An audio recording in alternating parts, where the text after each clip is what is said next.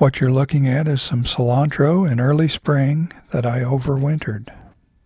Because I have more cilantro than I can use right now, I'm going to freeze some for later. There are several ways to freeze cilantro, but in today's video I'm going to show you how to freeze cilantro with olive oil. But before we can do that, I need to harvest several plants. After thoroughly washing what I harvested, I removed any large stems and discarded them, leaving only the leaves and smaller stems. Here's a closer look at some of the leaves that I'll be using. As you can see, they just have the smaller stems attached. Using about a handful of leaves at a time, I loosely chop them. Once I have them chopped, I put them in a separate bowl and repeat that process until I have them all chopped. Then I add about a cup of my chopped leaves to a small food processor, and then I add the olive oil. I experimented with using different amounts of olive oil and finally settled on about a third cup.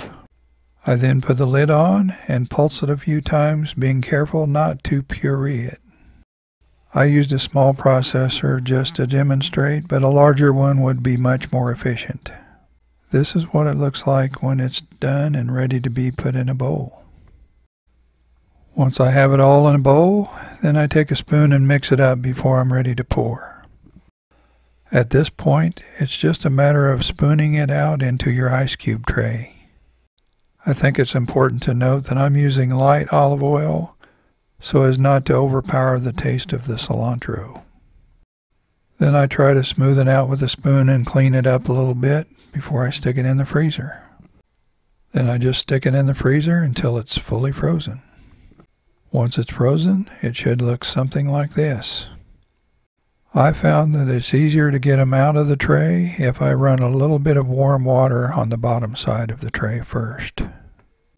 It just takes a few minutes to load them into freezer bags. To help prevent freezer burn, I stick a drinking straw into one corner of the bag. Then I suck all the air out and then seal it shut. You can also do the exact same thing except substitute water for the olive oil. If you like to freeze cilantro, let us know about it in the comments. And if you're just now finding this channel and you haven't subscribed yet, please subscribe. We'll see you next time.